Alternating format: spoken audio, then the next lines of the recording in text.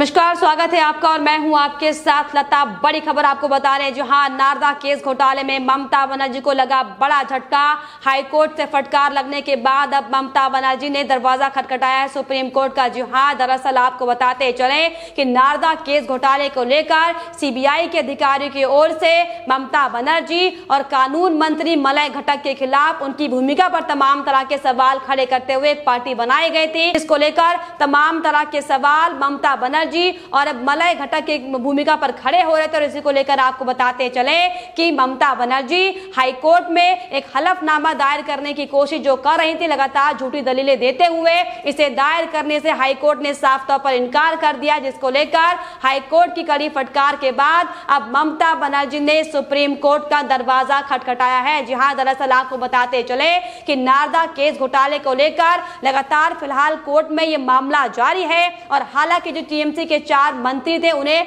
House arrest किया गया है। उन्हें अंतरिम जमानत पर घर पर रहने की परमिशन भले ही दे दी गई हो, लेकिन आपको बताते चले कि अब नारदा केस घोटाला और ज़्यादा पेचीदा होता जा रहा है, क्योंकि जिस तरीके से ममता बनर्जी ने खुलेआम सीबीआई के अधिकारियों को धमकाने की जो कोशिश की थी, उन पर जो दबाव बनाने की कोशिश की गई थी, इसका खामियाजा अब ममता बनर्जी को भुगतना पड़ रहा है, क्योंकि अब साफ़ तौर पर उनकी भूमिका पर जो तमाम तरह के आरोप, चाहे फिर वो कानून मंत्री, मलय घटक हो फिर चाहे वो बतौर बंगाल की मुख्यमंत्री ममता बनर्जी उनकी मुश्किलें बढ़ने वाली है, क्योंकि अधिकारियों की ओर से साफ़ तौर पर यह साबित किया गया है। ममता बनर्जी लगातार जो छह घंटे सीबीआई के दफ्तर में उस दौरान बैठी हुई थी, सिर्फ़ और सिर्फ़ अधिकारियों पर दबाव बनाया जा रहा था। और यहाँ तक कि आपको याद होगा कि ममता बनर्जी ने जान से मारने तक की धमकी अधिकारियों को दी थी। जी और यही बड़ी वजह है कि सीबीआई के अधिकारियों ने ममता बनर्जी और कानून मंत्री मलय घटक के खिलाफ खिलाफ एक पार्टी बनाई थी, जिसको लेकर तमाम तरह के सवाल, ममता बनर्जी और मलय घटक की भूमिका पर सवाल खड़े हुए थे। हालाँकि यह मामला भी लगातार फ़िलहाल हाईकोर्ट में चल रहा है, लेकिन सीबीआई की ओर से इसे अलग प्रदेश में मामला शिफ्ट करने की मांग भी की गई, क्योंकि जिस तरीके से लगातार बंगाल में जो हालात बने हुए हैं, हम देख रहे हैं कि कैसे पुलिस प्रशासन महकमे से लेकर कैसे कोर्ट महकमा भी लगातार ममता बनर्जी के इशारों पर काम करता है और यही बड़ी वजह थी कि सुप्रीम कोर्ट में याचिका दाखिल कर कर सीबीआई की ओर से ये कहा गया था, ये मांग की गई थी कि जो नारदा केस घोटाले की जाँच, जो जारी, जो सुनवाई ममता बनर्जी को लेकर और उनके मंत्री को लेकर जो बंगाल में की जा रही है, इसे अलग प्रदेश में शिफ्ट किया जाए। लेकिन लगातार ममता बनर्जी किस तरीके से अपने टीएमसी के गुंडों को बचाती आई थी, हम सबने देखा था और किस तरीके से तमाम जो तस्वीरें सामने आई थी कि कैसे बार बार सुनवाई के दौरान स्वास्थ्य का हवाला देकर टीएमसी के गुंडे जाँच से बचने की कोशिश लगातार कर रहे थे। लेकिन आपको बताते चले कि इस मामले में सुनवाई लगातार जारी है और अब जब ममता बनर्जी को यह महसूस होने लगा है कि अब हाईकोर्ट की ओर से भी उनकी तरफ़ से जो वो लगातार चाहती थी, ऐसे फैसले नहीं आ रहे हैं तो अब ममता बनर्जी ने द सुप्रीम कोर्ट का दरवाज़ा खटखटाया है और वहाँ पर अपनी भूमिका को लेकर जो हलफनामा दायर करने करने की कोशिश वो लगातार हाई कोर्ट में कर रही है। अब सुप्रीम कोर्ट से मांग की गई है कि वो अब इस मामले को लेकर सुनवाई करे, लेकिन आपको बताते चले कि ममता बनर्जी के चार, जो टीएमसी के नेता हैं, फिर चाहे वो फराद हाकिम हो, फिर चाहे वो सुब्रत राय हो, या फिर मदन मित्रा हो, या फिर अन्य तमाम नेता हो, जिनका नाम बार बार बंगाल में घोटालों में सामने आया है। और फ़िलहाल जो हम बात करें, नारदा केस घोटाले की है, जो कि 2016 विधानसभा चुनाव से पहले सोशल मीडिया पर एक ऑडियो वायरल हुआ था जिस जिसमें साफ़ तौर पर किसी खास कंपनी को, विशेष कंपनी को फ़ायदा पहुँचाने के लिए ये टीएमसी के नेता मोटी रकम वसूलते नज़र आए थे। हालाँकि बाद में ममता बनर्जी इस केस को झूठा बताते हुए अपने नेताओं को बचाने की भले ही कोशिश कर रही हो, लेकिन इसकी बानगी 17 मई को पश्चिम बंगाल में सबके सामने आ गई थी कि कैसे बंगाल में सिर्फ़ और सिर्फ़ तानाशाह चलता है और कैसे गुंडागर्दी खुलेआम की जाती है। जहाँ दरअसल आपको बता दें कि 17 मई को जब सीबीआई की ओर से इन चार नेताओं के घर में छापेमारी की गई थी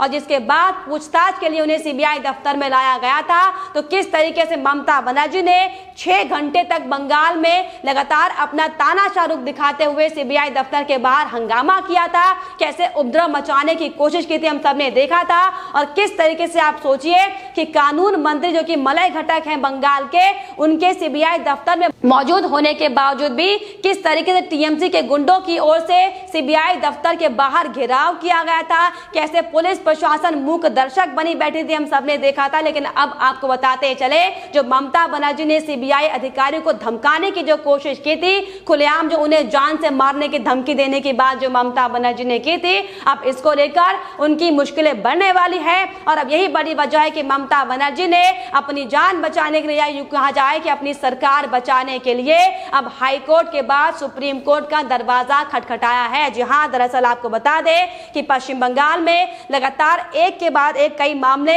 कई घोटाले सामने आए हैं, जिसको लेकर लगातार हर बार ममता बनर्जी के करीबी इसमें फंसते दिखाई पड़े हैं। तो चाहे इसमें नाम उनके भतीजे अभिषेक बनर्जी का क्यों ना हो, क्योंकि हमने देखा है कि कैसे कोयला घोटाले को लेकर अभिषेक बनर्जी का नाम सबके सामने आया था, लेकिन बावजूद इस पर कार्रवाई करने की बजाय ममता बनर्जी सिर्फ़ और सिर्फ़ झूठ और अधर्म का साथ देती हुई दिखाई पड़ती है, और यही बड़ी वजह है कि एक बार फिर से जब अब नारदा केस घोटाले मामले में अब ममता बनर्जी और उन्हीं के कानून मंत्री मलय घटक का नाम सामने आ रहा है। उनकी भूमिका पर तमाम तरह के सवाल खड़े हो रहे कि कैसे बतौर मुख्यमंत्री रहते हुए कोई मुख्यमंत्री खुलेआम अधिकारी को जान से मारने की धमकी दे सकता है। लेकिन अब आपको बताते चले कि लाख कोशिशों के बावजूद भी ममता बनर्जी की मुश्किलें बढ़ने वाली है, क्योंकि एक के बाद एक जो प्रहार उनके ऊपर अब होने वाले हैं, आपको बता दें कि अब वक्त आ चुका है कि बंगाल में लगातार जो हालात ममता बनर्जी की वजह से बने हुए हैं, खामियाजा। हालाँकि फ़िलहाल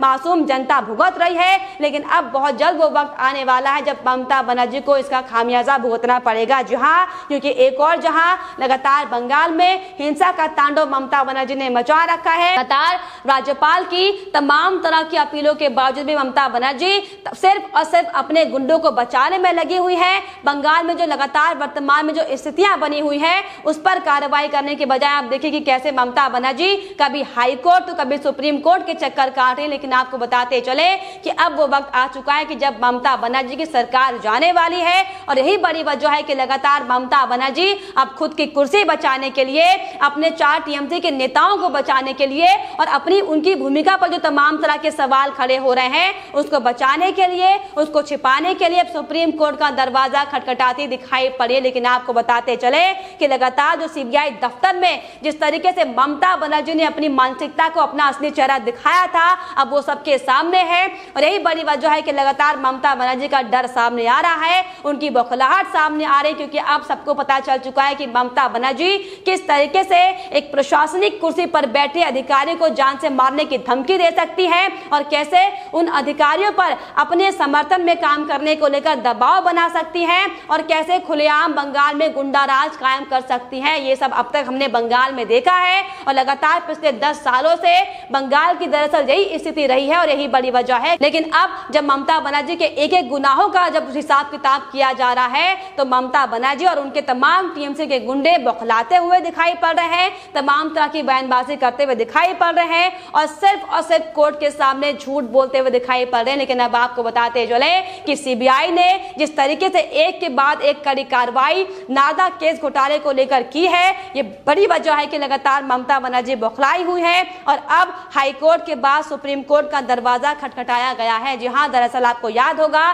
कि कैसे नारदा केस घोटाले के दौरान जब ममता बनर्जी अभी फ़िलहाल हाल ही की बात कर रहे हैं, जब ममता बनर्जी के टीएमसी के विधायकों को पकड़ा गया था तो कैसे ममता बनर्जी झूठी दलीलें देती हुई दिखाई पड़ी थी, बल्कि खुद ममता बनर्जी के जो वकील थे कोर्ट में, इस तरीके से उनके वकील तक ये झूठ बोलते हुए दिखाई पड़े थे। मनु सिंह भी कि ममता बनर्जी बतौर विधायक के तौर पर सीबीआई दफ्तर गई थी, लेकिन जो हम सबको पता है, हमें पता है कि कैसे नंदीग्राम में ममता बनर्जी को हार का सामना करना पड़ा था, और यही बड़ी वजह है कि लगातार बंगाल में ममता बनर्जी अपनी हार की खींच निकालती हुई दिखाई पड़ रही है। लेकिन आप सोचे कि कैसे एक मुख्यमंत्री से लेकर उनका वकील तक कैसे झूठ बोलता हुआ दिखाई पड़ रहा है कोर्ट में, कैसे झूठी दलीलें पेश की गई थी, हम सबने देखा था कि कैसे ममता बनर्जी को बचाने के लिए और उनके गुंडों को बचाने के लिए जब कोर्ट की ओर से सवाल पूछा गया था कि आखिर ममता बनर्जी किस उद्देश्य से सीबीआई दफ्तर पहुँची थी और छह घंटे तक वहाँ पर हंगामा करने का उपद्रव मचाने का बतौर मुख्यमंत्री ममता बनर्जी का क्या आ, कौन सा रवैया था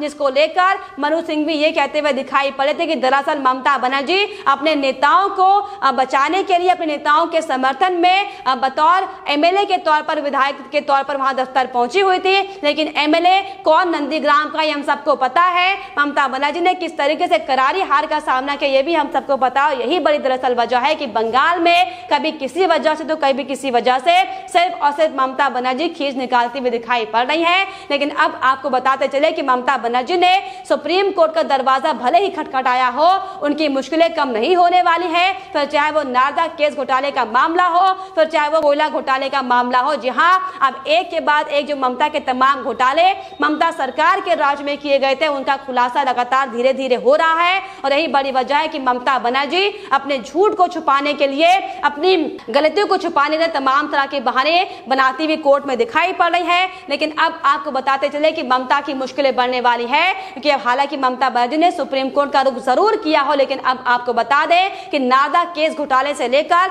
जो बंगाल का हाल ममता बनर्जी ने बनाया हुआ है, इसको लेकर अब कड़ी कार्रवाई ममता के खिलाफ होगी। और यह भी यूँ भी कहा जा सकता है कि अब किसी भी वक्त ममता बनर्जी की सरकार सत्ता डूब सकती है। बंगाल में राष्ट्रपति शासन लग सकता है। लेकिन फ़िलहाल इस पर आपकी क्या राय है, हमें कॉमेंट बॉक्स में ज़रूर लिखेगा। साथ ही साथ हमारे चैनल को सब्सक्राइब करना भी ना भूलें।